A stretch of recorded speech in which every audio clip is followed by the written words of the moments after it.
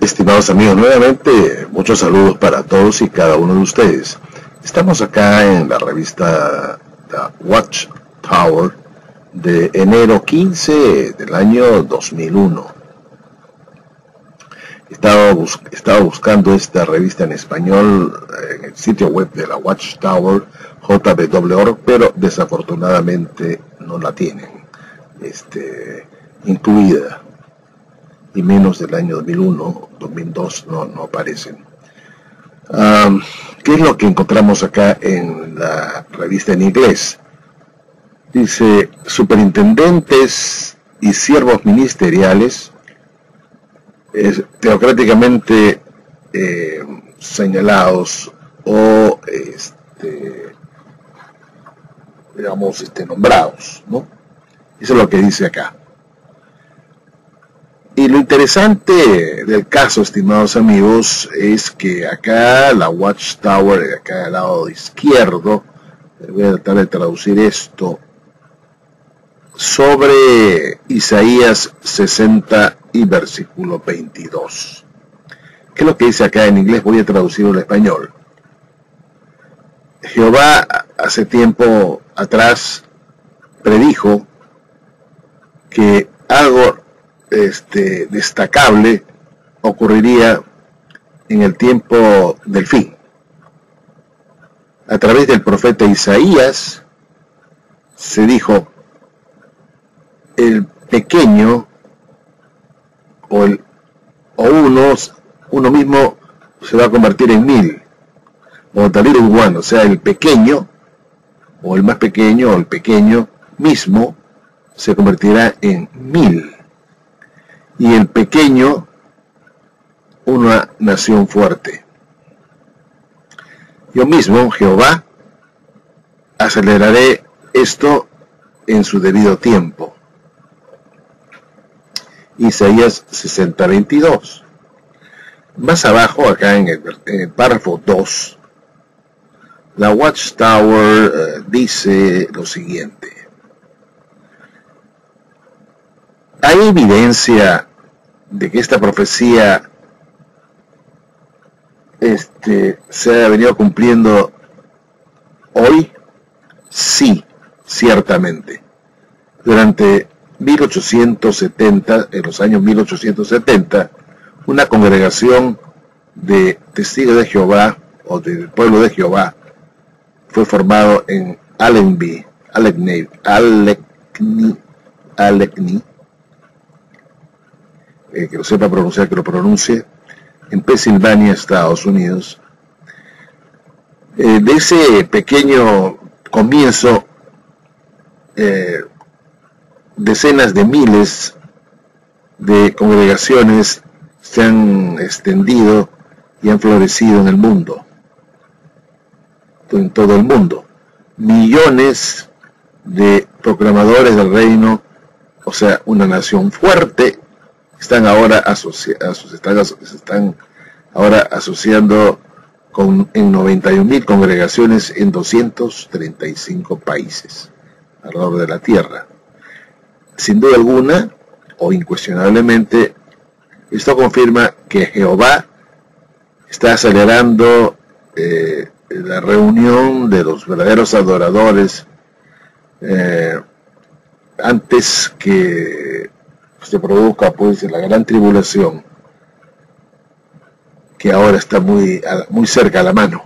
Bueno, ahí queda la explicación de la Watchtower. O sea, para la ciudad Watchtower, Isaías 60, y 60 22, que ven ustedes acá, eh, esta profecía de Isaías 60 22 tiene que ver con el desarrollo de la obra mundial que se inició en 1870 eh, con un grupo pequeño de estudiantes de la Biblia en Allegheny, Pensilvania, Estados Unidos de América.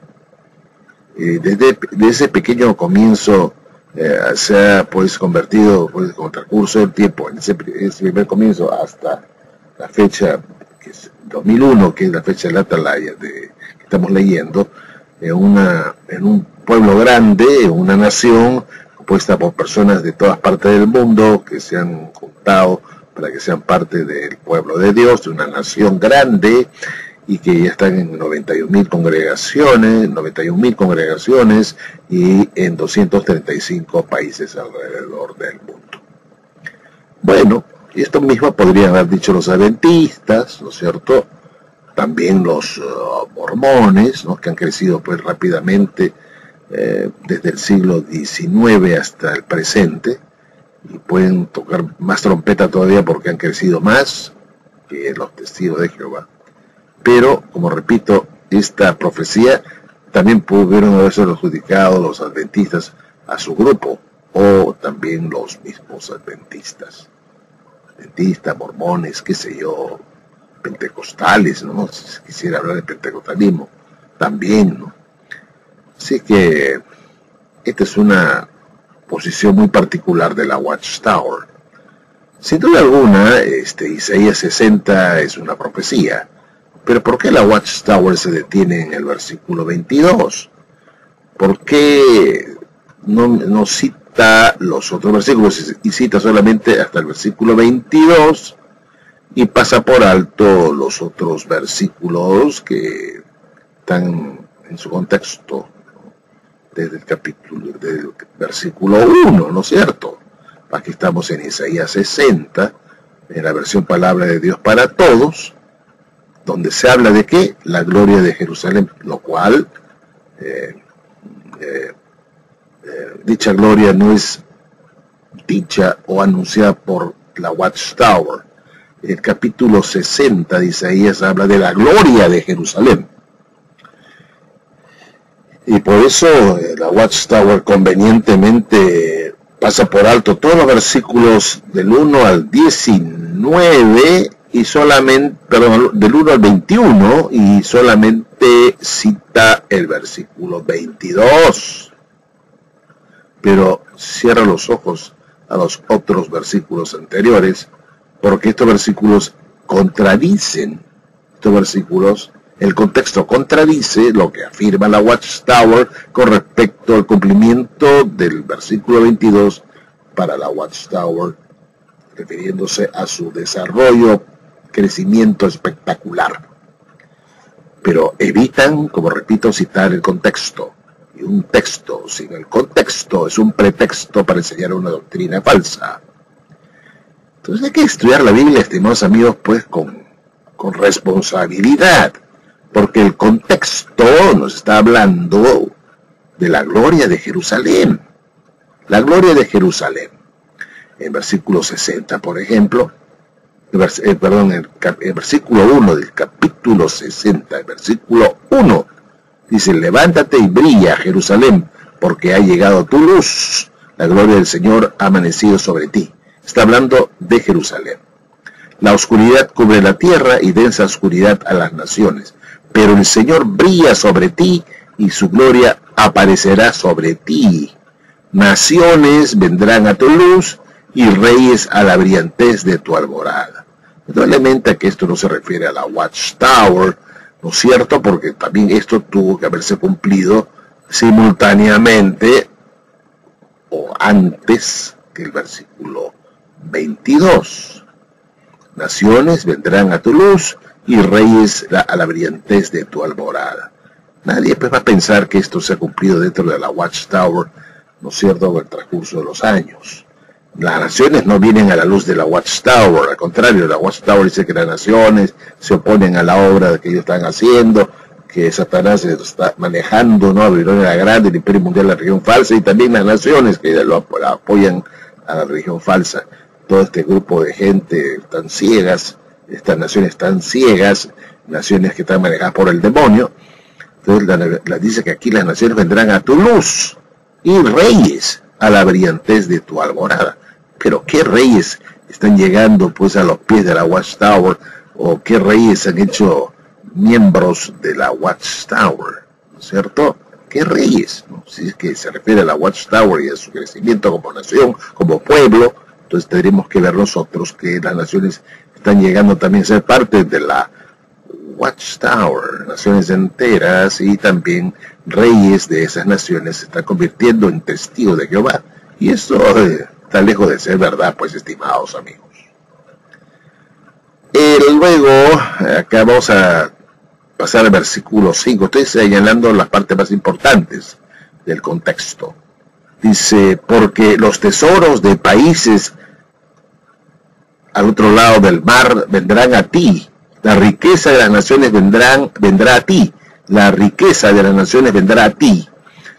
Esto está ocurriendo en la Watchtower, estimados amigos, cuando vemos que cada día están más eh, pobretones, están perdiendo dinero, filigreses, eh, tienen apremios económicos, están solicitando dinero para poder salir adelante, ¿no es cierto?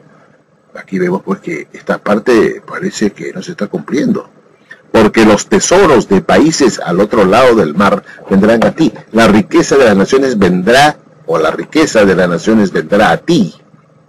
La riqueza de las naciones vendrá a ti. Y esto pues difícilmente se ve en la Watchtower. Traerán oro e incienso. Uf, ya quisieran la Watchtower que esto fuera un cumplimiento real, que se está dando ahora. Y vemos nosotros que no le están trayendo oro, sino que ellos están pidiendo oro y plata y herencias y feidicomisos, este, jubilaciones, qué sé yo, joyas, eso sí están pidiendo, pero que voluntariamente naciones, multitudes de personas traerán oro, incienso a la Watchtower, esto no va a ocurrir nunca. Luego ah, dice, reunirán para ti todas las ovejas de Cedar los guerreros de, Bayot estarán a tu servicio. Y esto no se está cumpliendo para la Watchtower en ningún momento, ni se ha cumplido antes, o ni ahora ni nunca. Esta es una profecía que la Watchtower no la ve. Ahora, ¿quiénes son esos que vuelan como nubes y como palomas a su palomar? Verdaderamente los países lejanos esperan por mí y los barcos de Tarsis vienen a la cabeza. Traen de lejos a tus hijos con su oro y con su plata en honor del Señor tu Dios. Esto pues no se puede aplicar a la Watchtower, estimados amigos. Esto es imposible. No se está dando ni se va a dar para la Watchtower. En el versículo 10, extranjeros construirán tus murallas y sus reyes te servirán. ¿Cree usted que esto puede eh, ser una verdad que se está cumpliendo ya para los testigos de Jehová, para ellos, para su organización? Están pues los extranjeros construyendo las murallas de la Watchtower y los reyes les, le están sirviendo a estos del cuerpo gobernante, a los ungidos y a Cristo. No pues.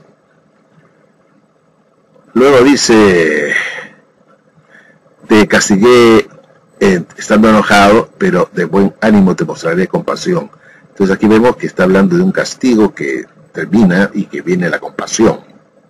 Me pregunto, ¿estuvieron los testigos de Jehová pues haciendo tantas cosas malas como para ser castigados y Dios tiene que luego mostrarles compasión? Eso quiere decir que los testigos de Jehová en general han estado obrando mal la organización misma ha estado obrando mal y que Dios le ha mostrado compasión. No que estuvo enojado, ¿no? Enojado, pero dice, tus puertas siempre permanecerán abiertas. Bueno, tú vas a Walkie y las puertas están cerradas, no puedes entrar a las oficinas centrales, ¿no? No cerrarán de noche ni de día para que puedas recibir las riquezas de las naciones traídas por reyes. Esto no se refiere a la Watchtower, sino a Jerusalén está hablando de Jerusalén. El versículo 12, porque la nación o el reino que no te sirva perecerá. Aquí está el 12. Esas naciones serán destruidas completamente. Está hablando acá de las naciones que ah, rodean, vamos a decir así, Israel, el Israel centro del mundo, Jerusalén, la capital, las naciones van a venir a servir a Jerusalén y si no lo hacen serán completamente destruidas. Esto, por supuesto, eh, no tiene que ver con la Watchtower, tiene que ver con Jerusalén. Ahora, el versículo 13 dice, la gloria del Líbano vendrá a ti, pinos, abetos y cipreses juntos, para embellecer aún más mi lugar santo.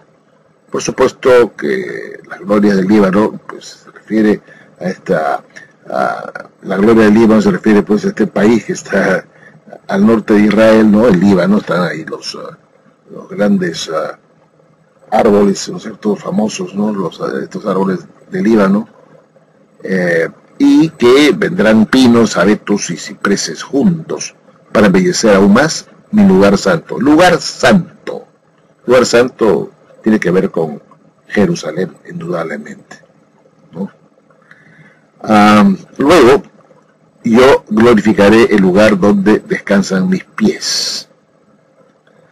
El, el versículo 14, estamos acá leyendo el 14, los descendientes de los que te oprimieron vendrán a inclinarse ante ti, y todos los que te despreciaron se tenderán a tus pies. Ellos te llamarán la ciudad del Señor, Sión, la del Santo de Israel. Esto no tiene que ver nada con los testigos de Jehová, ni con la organización que ha ido creciendo, etcétera. Tiene que ver con un pueblo antiguo tiene que ver con una nación antigua que eh, fue oprimida por naciones gentiles y acá dice que los descendientes de los que te oprimieron vendrán a inclinarse ante ti. ¿No es cierto? Esto, pues, eh, se puede aplicar solamente a Jerusalén. Y todos los que te despreciaron se tenderán a tus pies. Ellos te llamarán la ciudad del Señor, Sión, la del Santo de Israel.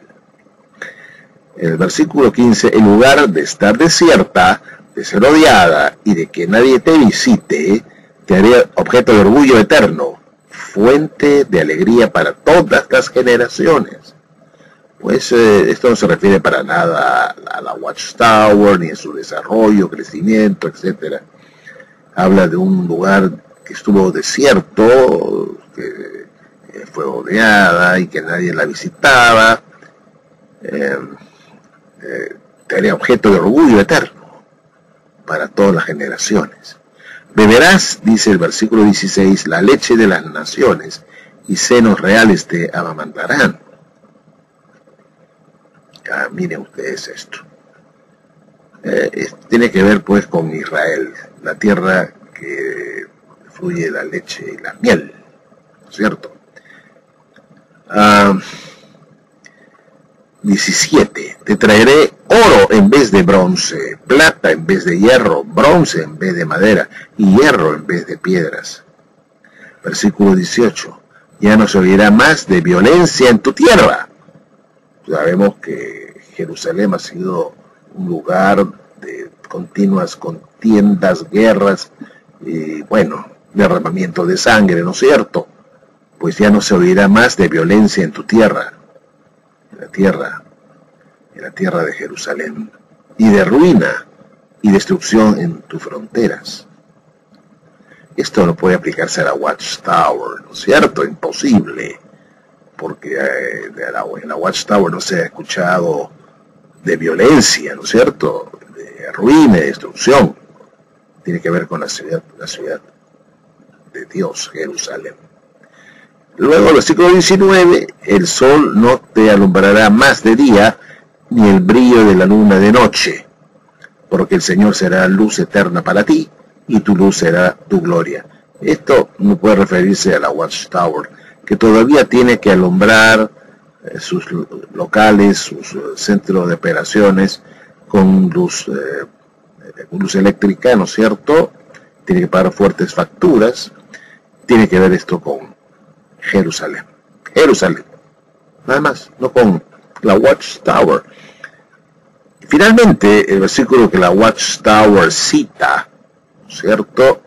Vamos a, ver acá el versículo 22, que es la parte que me interesa. La familia más pequeña se convertirá en una familia grande y el menos importante se convertirá en una nación poderosa. Se refiere a, pues, la familia de los israelitas, eh, regresarán a su tierra, a Jerusalén, y ya no serán, pues, eh, pueblo disminuido, sino será una familia grande, fuerte, una nación poderosa. Y el Señor, a su tiempo haré esto rápidamente. Muy bien, esto se refiere a todo esto a todo lo que se está anunciando. Y por supuesto, si la Watchtower dice que ya se está cumpliendo hoy en día el versículo 22, tendría que cumplir también los otros versículos anteriores aplicándolo a la Watchtower y lo cual pues, no encaja, no encaja en absoluto nada de los versículos 1 al 21. No encaja para nada para la Watchtower. Solamente la Watchtower quiere tomar para sí el versículo 22 como si fuera una profecía para ellos pero, eh, pero ignoran los versículos anteriores porque no son para ellos, sino para Israel, como lo es también el versículo 22, que tiene que ver con Israel, Jerusalén, el regreso de los judíos y la restauración de la ciudad amada, Jerusalén, como repito.